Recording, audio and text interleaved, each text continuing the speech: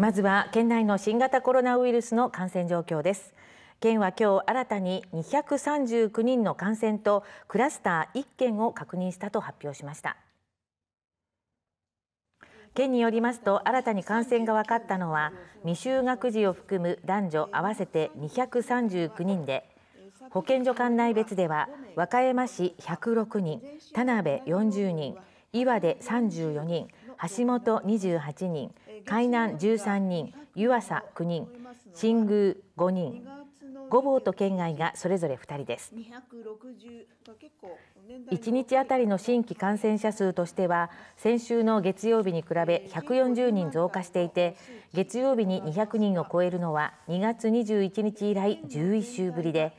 大型連休中に帰省や友人同士での飲食などの機会が増えたことによると考えられ今後の増加が懸念されています。また和歌山市の高校で生徒6人の感染が確認され県は339例目のクラスターと認定しました。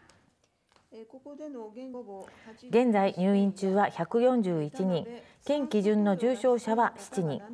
宿泊療養と自宅療養は1165人累計の感染者数は亡くなった117人を含め3万7643人となっています。